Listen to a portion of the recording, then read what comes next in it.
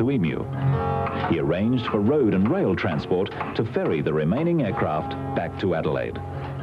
The Department of Supply had only extended the deadline by a couple of weeks, and the fact that all five Mustangs were dismantled, loaded and transported within that time was a triumph of engineering and logistics.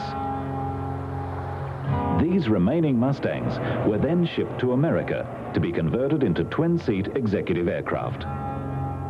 Meanwhile, Tony had passed the engineering examination required by the Department of Aviation, and the way was now clear for him to make the final flight from Coober Pedy to Adelaide. To escort Tony home, Jim Schofield arrived in Coober Pedy, and at last he was reunited with A681. Well, when I first saw it, I, uh, I must say it brought a warm feeling uh, to my heart. I think that uh it had come back into uh, activity again as a serviceable aircraft.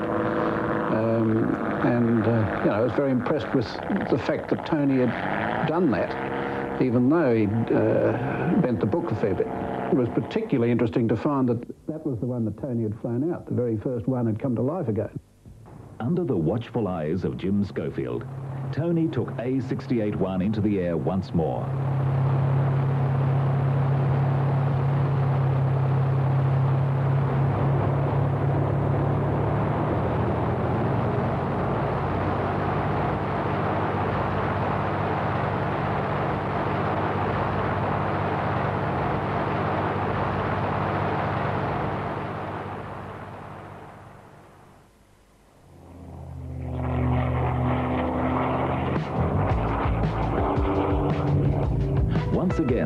Mustang performed faultlessly, and the long flight passed without incident.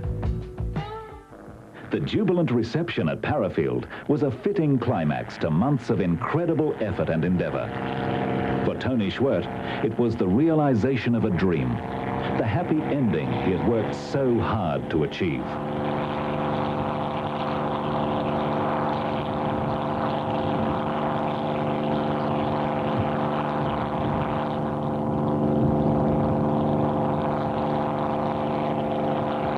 A681, it seemed that fortune had smiled at last. But fate still had a few cards up her sleeve, and she hadn't finished with A681 yet. In fact, the problems were just beginning.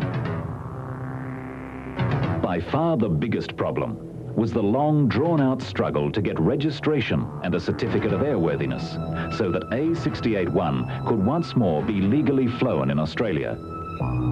As the months dragged by, even Tony's optimism began to wane. This proceeded for, well, this situation, I should say, existed for quite a period of time. Uh, letters going backwards and forwards, um, and the indications were that it seemed it was going to be a very, very slight chance that we were able to ever be able to fly the P-51s in this country again. Because approval was given for the flight from Coober Pedy to Adelaide, it was naturally assumed that registration would follow. However, frustration set in uh, as the months went by without success. Uh, but I must say that at tender time, it was made known that uh, the registration was not likely. However, because of that approved flight, it was believed registration would follow. By now, the struggle had been going on for almost two years, and the vital registration was as elusive as ever. For Tony, the question of finance was now becoming a considerable burden.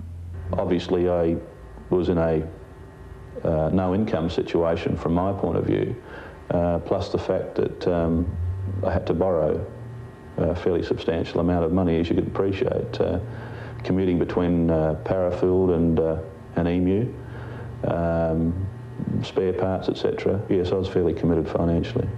After two years of mounting financial pressure, Tony Schwerdt was finally forced to make a bitter decision. The situation in Australia was at the time both at uh, government level, uh, museum level, uh, and from a private enterprise point of view, nobody here was prepared to pay one dollar for the aircraft. So ultimately, um, uh, to clear myself of some uh, financial problems that I had at the time, the only thing to do was to sell it to the USA. Purchased by an American syndicate, A681 was prepared for yet one more journey, this time by sea. But an even greater irony was in store. Just four days after the sale was negotiated, the long-awaited registration arrived. I um, was not bitter, but I will say that I was uh, absolutely uh, disappointed uh, in the fact that the certificate of registration hadn't been uh, forthcoming earlier. Uh, the fact that it arrived four days after the sale was negotiated was an extreme disappointment. In 69, the ship bearing A681 left Port Adelaide for its journey to New York. Although the Mustang was no longer their property, Tony and Charles Schwerdt had gone to great lengths to ensure that the aircraft had been packed and loaded correctly in order to survive the rigors of its long voyage. After everything they'd been through with A681, a decent send-off was the least they could give her. Yet, despite all their efforts, I now deeply regret to advise you that this entire affair has ended in financial disaster for the aircraft. The wings of this aircraft have been virtually destroyed. The flaps have been ripped, the wingtips have been damaged, the fuselage is damaged on its underside. The canopy is severely cracked. Package number three, containing the propellers, etc., was not discharged at Baltimore. In its present state, the aircraft is virtually worthless, except for possible scrap purposes. When uh, I'd heard that the aircraft had arrived in America and was damaged, um, once again, I just couldn't believe uh, we could have so much bad luck. I personally saw to the uh, shipment and even took photographs at ship's side There was no way could I believe what was the content of the letter. Regardless of Tony and Charles' disbelief or Ed Jurist's bitter frustration, and despite the many letters that passed between Australia and America, the sad fact remained that A681, having survived so much, was now in a worse state than when Tony had first found her.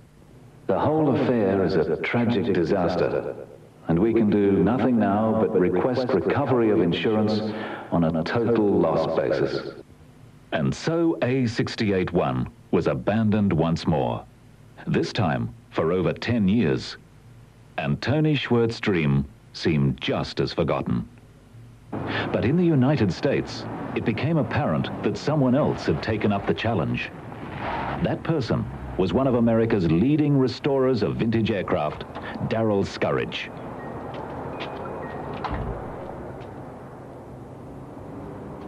Oh, I believe I first got it about, uh, must have been in 70, 78 probably. It had been, you know, moved around from place to place, changed hands several times, and every time they moved it, they would lose a part, bang up a part. It was pretty sad shape, really.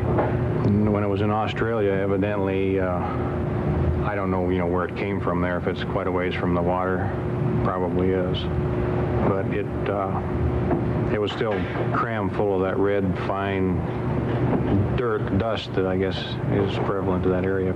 I didn't really know what airplane it was until I started taking it apart. And on the, uh, the rear bulkhead where the tail cone bolts on, uh, the uh, there was a, uh, a, serial number stamped on there, serial number one. So then I knew, uh, you know, which airplane it was. Well, when I finished it, it was probably the finest Mustang in the country.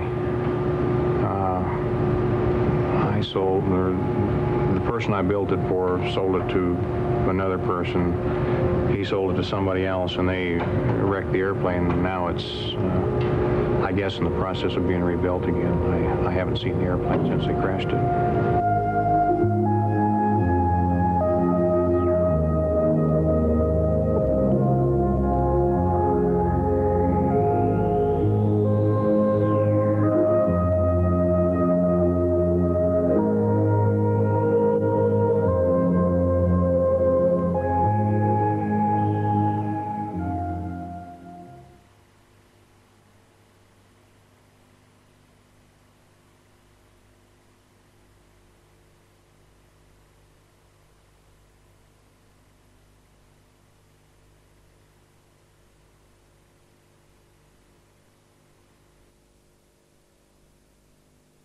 hangar, but back as a flying museum piece.